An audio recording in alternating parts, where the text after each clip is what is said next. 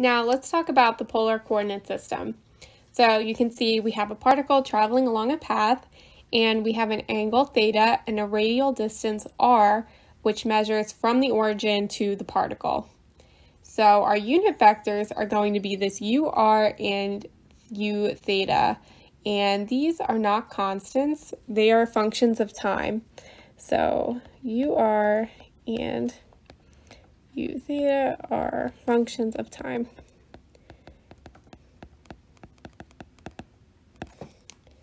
So UR is always going to go straight from R and 90 degrees off of that is always going to be our theta unit vector U theta.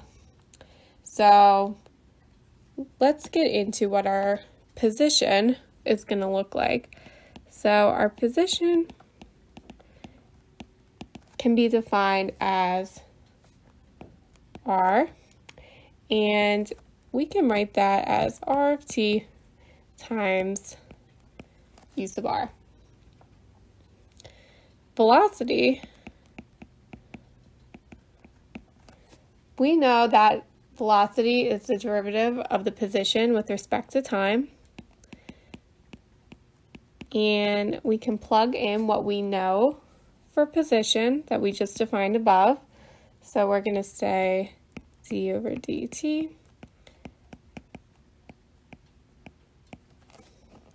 And that will be equal to dr over dt times u sub r plus r ur over dt.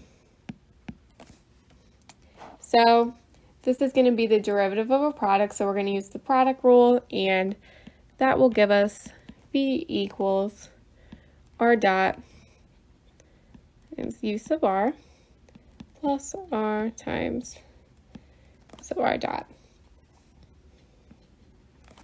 And the dot's just showing that we're taking a derivative. So here is our velocity expression here.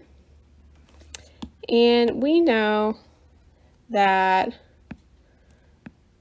UR equals theta dot times u sub theta. And we're not going to break this down, but this is an equation that we're going to need to know. So velocity, our final expression, when we plug that in, is going to look like V equals R dot times U sub R plus R times theta dot times U sub theta. And we need to know that because we need to be able to have a theta component. So now we have our r component of the velocity and our theta component. So we just plug this in down here and that's, there we go. So that is what's going to give us our final velocity expression. So our acceleration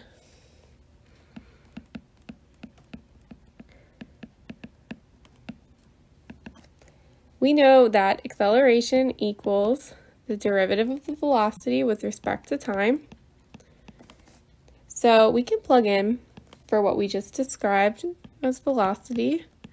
So we're going to say r dot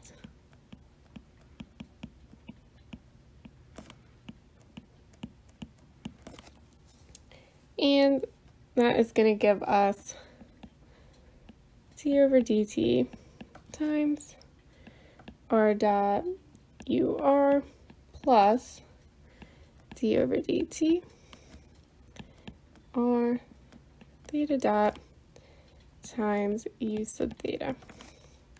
So here we know that acceleration, derivative of the velocity, so we're just going to simplify this. And there's quite a bit of math that's going to go into this, so I'm not going to run through it too much, but I'll write it out just in case you need to know it or you're curious. So r dot u sub theta plus r d over dt. Theta dot times u sub theta times, I don't know if I have enough room, so we're gonna times r times theta dot u sub theta plus theta dot. U sub theta dot. And that's going to give us a final expression here after breaking it down. But we're going to need to get rid of these derivatives of the unit vectors. So after we write all of this out at nauseum,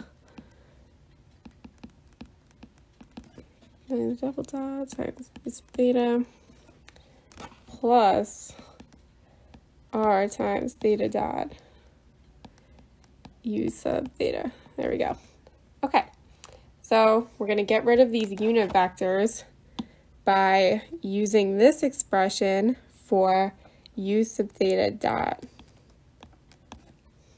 So we're going to say u sub theta dot equals negative theta dot times u sub r. And we're going to plug in this equation for u here, let's write that in.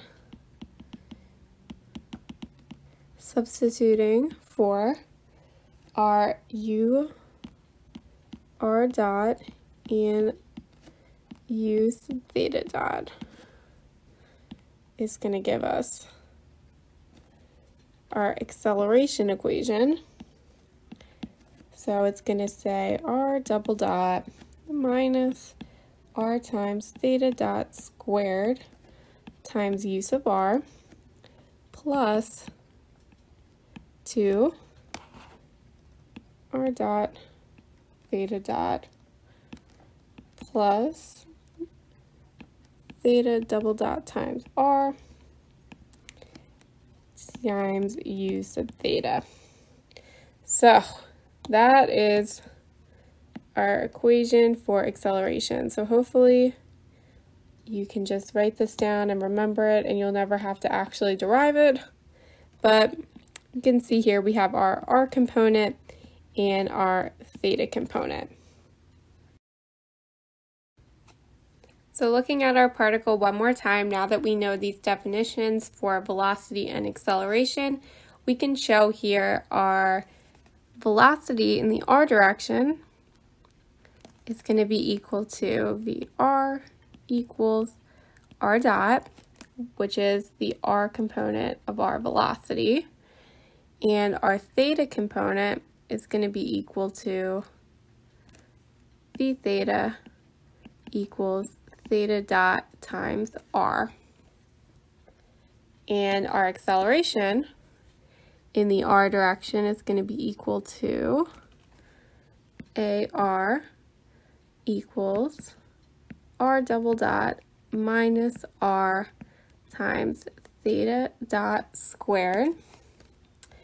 And our acceleration in the theta direction is going to be equal to a theta equals 2r dot times theta dot plus r times theta double dot.